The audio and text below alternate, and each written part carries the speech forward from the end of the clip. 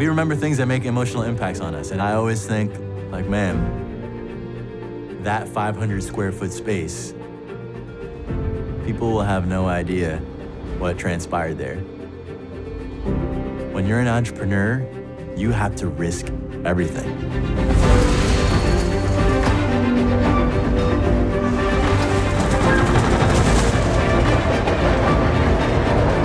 My pops was a presser and a dry cleaner. That's what he used to put money on the table for us. I was living in Harlem then, and we lived in a tiny one bedroom apartment. My pops, he said, son, living in this country makes it uniquely possible for someone who comes from circumstances I do to make something of it. When I was like 19, I was a doorman. And one of the more frequent complaints when I was a doorman was about their dry cleaner. Because in the morning when they'd leave for work, the cleaner was closed. And by the time they got back home late at night, the cleaner was also closed. So I thought that there was an opportunity there to create a mobile dry cleaner. But for the longest time, it felt like now wasn't the time. I was providing quite a bit for the family. My parents were nervous because an immigrant family does not move to the United States so that your son can clean people's dirty underwear. And it took me a while, but something clicked at some point. An entrepreneur, by definition, takes extraordinary financial risk. And I realized, oh, the opportunity cost of waiting is massive. Why not now? Shortly afterward, I quit my job to do it full time. But I told one resident in particular, I said, well, what are you gonna go do? I said, well, I'm gonna start a mobile dry cleaning service. I said, you're gonna start a what? Said, I'm gonna start a mobile dry cleaner. Why? I said, dude, I've been in film and TV the past 25 years.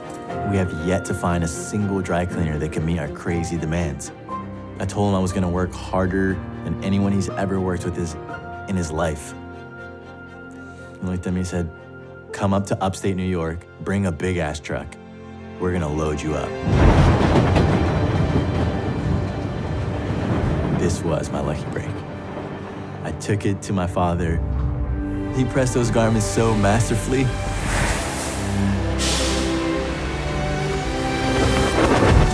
After that, Law and Order, Person of Interest, White Collar, Amazing Spider-Man 2, Unforgettable, The Knick. We dominated 90% of the film and the TV industry in New York City.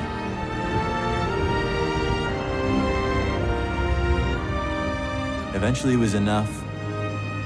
A larger competitor stepped in and made us an all cash offer to buy the business.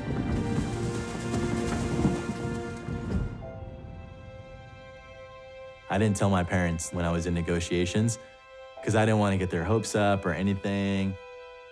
I said, hey guys, when we sat down, I wrote a check and turned around. I said, that's for you guys.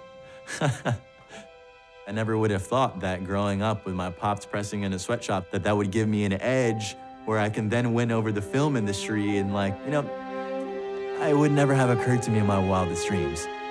But now looking back, I grew up in a situation that perhaps seemed less than ideal. But on the flip side of that coin was a world of possibility.